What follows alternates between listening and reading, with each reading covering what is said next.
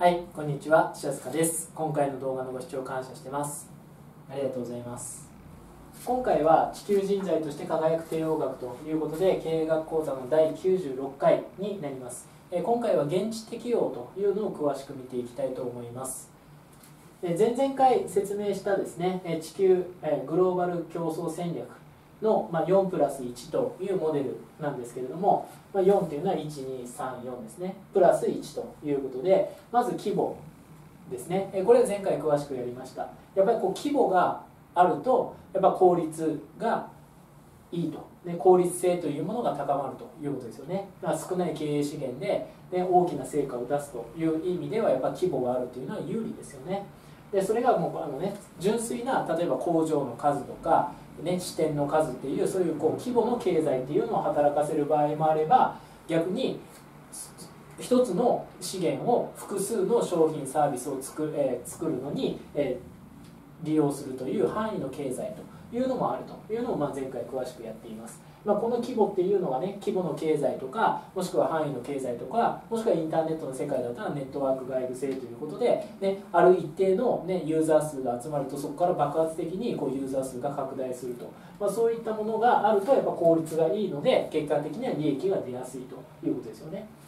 で、え今回はこの2番目の適用と現地適用。こっちはどっちかっていったら効率の追求ですけどこっちはこうきめ細やかな対応ということで1番と2番っていうのはま矛盾するんですけれどもこの矛盾しているものを両立させていくというのが非常に大事だということです。あとはそのね、えグローバルレベルで、え知恵の共有をすると。例えば現場と本社。でえ知恵の共有をするとかもしくは地域ごとのこう知恵を共有するという、まあ、そういったものも非常に重要になってくるしあとはその地域によってそのね格差が生じている。一番分かりやすいので言えば価格の格差が生じていればその価格の差っていうのはチャンスなのでそれを生かしていくということですよね。で全てにおいてえね、必ずこうチェックしないといけないのは企業特性ですよね。その企業らしさブランド。といったものに合ってるのかどうか。その規模の拡大っていうのはその企業らしさに合った規模の拡大なのか。それともたただね流行とか流行りの追っかけなのかっていうのはちゃんとね自分たちらしいのかその企業らしいのかブランドらしいのかっていうことでチェックするということも大事だということです。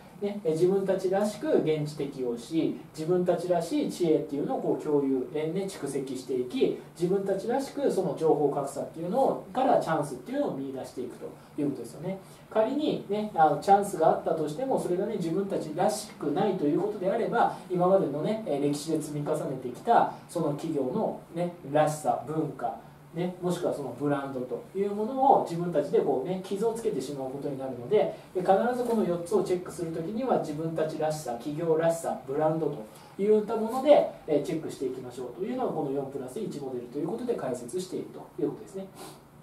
で前回はこの1っていう規模っていうのを詳しく見たので今回は2の適用というのを詳しく見ていきたいと思います。はい、えーということで現地適用ですね。相手国の文化必要性好みですね。やっぱこう必要性があれば売れるし必要性がなければ売れないということです。じゃね、例えば日本でじゃあ白黒テレビがね、え今2016年でね、え作って売れますかって言ったらまず売れないわけですよ、ね。まあ、ゼロではないかもしれないですけど絶対儲からないんですよね。もう絶対儲からない。中にはね、やっぱりねあの変わった人がいてね白黒テレビを見たいっていう人がね,、まあねえ1人とか2人とかっていうのはいるかもしれないですけどとてもね企業の採算には乗らないですよね。ってなった時に、まあ、白黒テレビをじゃあね作ってねじゃあね売れますか？利益が出ますか？儲かりますか？ってまあまあ儲かんないわけですよ。でもね、えー今から50年前だったら1960年とかだったら、ね、白黒テレビでもね行列ができて売れたわけですよね。全く物は一緒なのに必要性が変わると当然、えーね、売れる売れないというのは関係。ないと。じゃあ今度は地域が変わるとどうですかと。で今ね、えーじゃあ日本の50年前だったら、ね、1960年とかだったら白黒テレビ売れましたよね。じゃあ日本の50年前ぐらいの,、ね、あの経済の国ってないんですかって言ったらあるわけですよね。例えばアフリカとかだったらまだ全然ね、えーその日本の50年前よりもはるかに1人当たりの所得っていうのが低い、まあ、東南アジアだったら、ね、国によっては、ね、日本にかなり並んでいるシンガポールみたいな国もあるし、まあ、タイとかねマレーシアっていうのも相当近づく近づいてきてます。1人当たりのねあの1人一人当たりの経済力っていうのはね、まあ、逆にねカンボジアとかラオスとかだったら、ね、まだまだ全然ね日本の50年前よりも状況が厳しいと。いうことになるわけですよね。でだったら、ね、例えば日本の50年前だったら白黒テレビっていうのは売れたと。ね。だったら、ね、それよりも、ね、経済力が低い地域だったらもしかしたら売れるかもしれないですよね。まずは白黒テレビ。その後カラーテレビっていうことで同じことが起きるかもしれないし、ね、っていうことなんです。だから物の問題よりも必要性の方が大きいということです。であとは好みですよね。で相手国の文化必要性好みなどを理解するということですね、えー、だからその企業が、ね、海外進出していく時に、ね、必ず見るものっていうのは2つあって1つは人口。もう一つはそのね、えー、1人当たりの国民所得ですよね。こういうこの2つは絶対チェックすると、ね、人口がどれぐらいいて人口成長率がどれぐらい人口ピラミッドですよね、えー、若い人と高齢者の割合っていうのはどれぐらいいるのかっていうその人口を見てそして1人当たりの平均所得ですよね。例えば、ね、1人当たりが100万円だったら日本の何年前と一緒。200万円だったら何年前と一緒。400万円だったら何年前と一緒。でそれであれば当然ねそれに対して必要なものっていうのも、ね、変わってきていて日本っていうのはね発展途上国からすると未来なわけですよね。日本っていうのは平均所得100万円の時代もあったし200万円の時代もあったし400万円の時代もあったわけだからで他の国も100万円になったら日本あの1人当たりの平均所得が100万円に到達したら多分これが普及するだろうなってことでこう進出していくわけですよね。200万円超えたってことであればこの商品を出したら売れるんじゃないかなっていうので進出していくということです。だから人口と必要性というのは必ず見る、まあ、必要性というのはその1人当たりの国民所得とかも踏まえて、え、進出していくということです。ね、で商品の機能とかデザインっていうのを変えて、ねえ相手に合わせると。まあ、ユニクロさんみたいにもうとにかく全世界共通の品物で大量に作ってはいっていう売り方をしてね成功してる企業もあるんですけど、まあ、どっちかっていったらユニクロさんみたいなああいう商品展開っていうのは非常にね珍しいですよね。H&M とかギャップとかザラとか、まあ、特にザラとかっていうのはもう本当にね、えー、すごくねそのすごくこう年代を決めてそして地域を決めてあ今ヨーロッパの、ね、20代のね、女性はこういったものを求めてるってことであれば、ね、商品企画から製造販売まで2週間でやってバーンっていう感じで、ね、もうもうねあの数量限定でもう売り切ってしまうと、まあ、そういうねやり方をするところの方が多い、まあ、ユニクロさユニクロさんみたいにもうね全世界にとにかくいいものを、ね、同じデザインでもう大量販売っていうのはむしろねあの今からの21世紀っていうのはね、まあ、少ない成功パターンだと思われるわけですよね。やっぱその国その国で独自の,、ね、あの好みとか必要性っていうのがあるのでそれに応じて、ね、機能を変えて、ね、フランスだったらこの機能でこのデザインとかねね東南アジアだったらこの機能でこのデザインということでこう、ね、変えて相手に合わせていくっていうのがま原則ですよね、まあ、原則があるってことは例外もあるわけです、まあ、ユニクロさんみたいにもうとにかく全世界にね、えー同じもので、ね、その同じものっていうのは全部いいものだからもうそれを全世界で売ってもうできるだけ低コストで提供するっていう戦略もあるわけですけど、まあ、一般的に今回は現地適用という、ね、テーマなので、まあ、相手の、ね、好みとか必要性が分かったらそれに対して商品とか機能とかデザインっていうのをこう合わせていくというのが、まあ、原則ということになりますよね。まあ、ユニクロさんの場合は商品は、ね、一斉販売でもねサービスは、ね、現地適用してるんだというふうに思われます。はい、え、そして多様な商品を開発することで知恵を蓄積していくということですよね。でそうグローバルに展開すればするだけ自分たちはどんどんどんどんねいろんな機能を持った商品いろんなデザインの商品っていうのをどんどんどんどん作っていってそして売っていくわけですから、まあ、蓄積ノウハウが蓄積していくわけですよね。つまりこの現地適用っていうのがこのね知恵のね強化っていうのにつながっていくということです。いろんな商品いろんなサービスを提供することでどんどんどんどん自分たちの知恵っていうのが蓄積してしていくということですよね。そしたら新たな市場進出に役立つということでこの、ね、規模の拡大にも役に立つということですよね。ね自分たちはねいろんな国に合わせて例えばどういうふうに現地の声を拾うのかどうやって相手の、ね、国の必要を知るのか、まあ、要するにマーケティングですよね。もしくは好みを知るのかっていうマーケティングの知識っていうのがあればね、そしていろんな商品を作ってきました。いろんなサービスを提供してきましたっていうね知恵があればそれだけ、ね、いろんな地域に進出しやすいししやすいということで規模の追求にもプラスになるということです。えそして企業特性を強めることにもつながるということで、まあ、例えばねあのいろんな場所に行って例えばねニューヨークにあって行ってもユニクロっていうのがあったと、ね、上海に行ってもユニクロっていうのがあったと。ね、イギリスのロンドンに行ってもユニクロっていうのがあったっていうことであればねブランドっていうのがねどんどんどんどん強化されていくということですよね。まあ、こういうことで現地適用がうまくいくと、まあ、知恵の共有とか規模の拡大とか企業特性の強化とかこういったものに対してこう相乗効果でうまくいき出すということですよね。はい、えー、そしてそれから別の視点ですねもう一つの視点で見た場合に進出先の文化を理解した上で現地の雇用今度は商品を売るお客さんですね。お客さんとしてではなくて今度はそのね従業員労働者っていう形の、えー、視点で見ていった時にあじゃあ進出しました。そこでね雇用を作りましたとね。自分たちがね企業が出ていくことによってその現地の人たちに働いてもらうということでその現地採用現地の雇用を作り出していくと、まあ、そういうねあの現地適用の仕方もあるということですよね。でとそうなった時に文化ですよね、まあ、例えば宗教とかね。日本にとってはイスラム教とかねイスラム教徒っていうのはねちょっとこうね遠い感じがするんですけどでもね16億人とかいるわけですよ。実際は。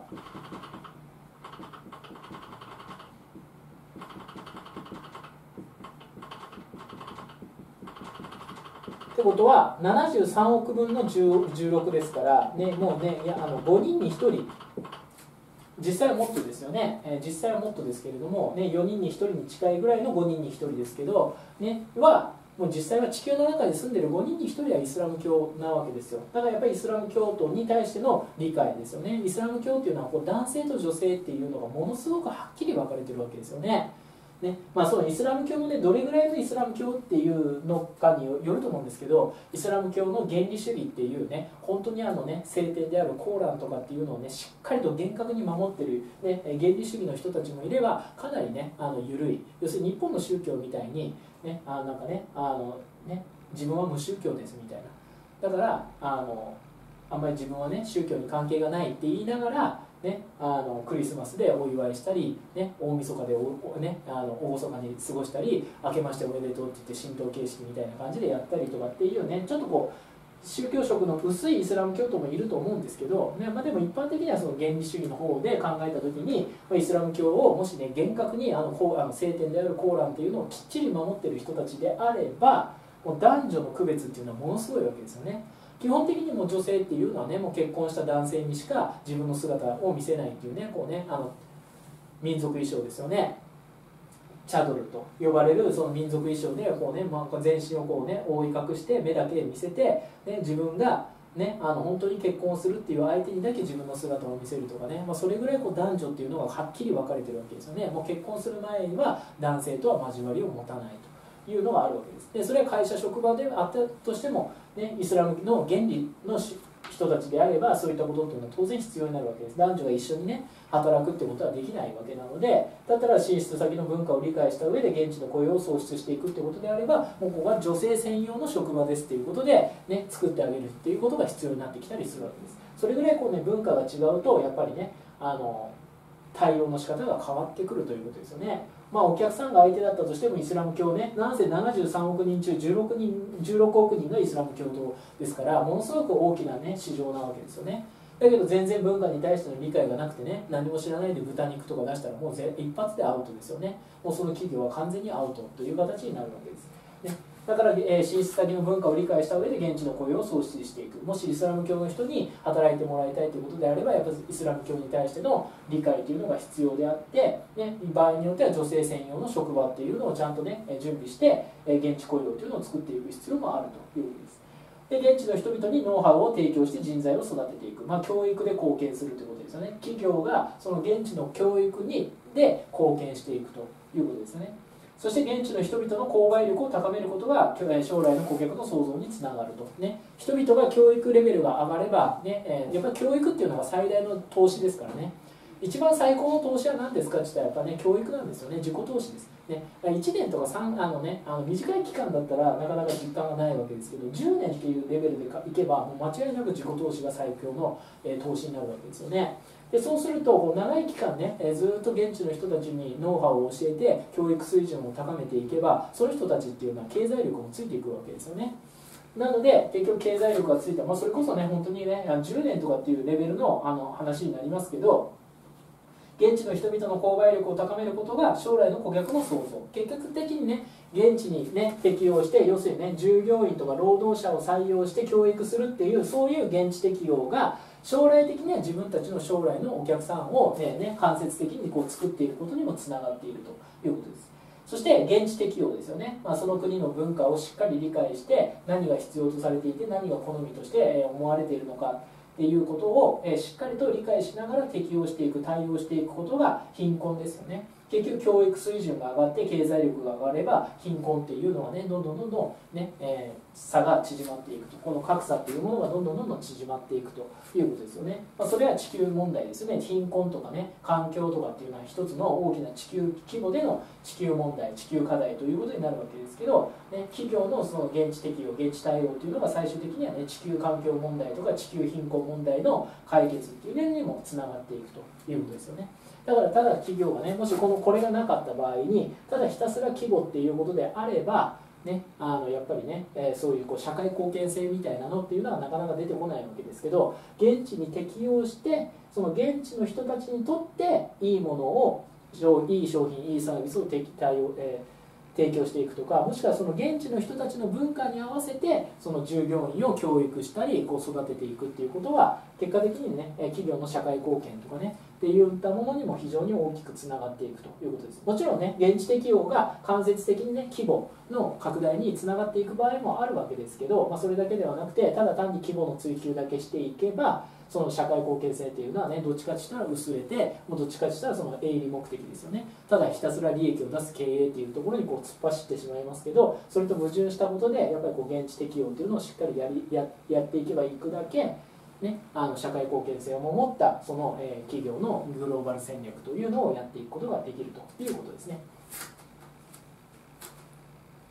はい、今回の動画がですね、あなたのお役に立ったということであれば、ぜひグッドのボタンを押して応援していただけると嬉しいです。チャンネル登録もよろしくお願いします。そして現在ですね、メルマガ登録していただいた場合は、特典教材をプレゼントしていますので、ぜひこの機会にメルマガを登録してください。はい、最後までご視聴くださり感謝してます。ありがとうございます。白坂慎太郎でした。それではまた。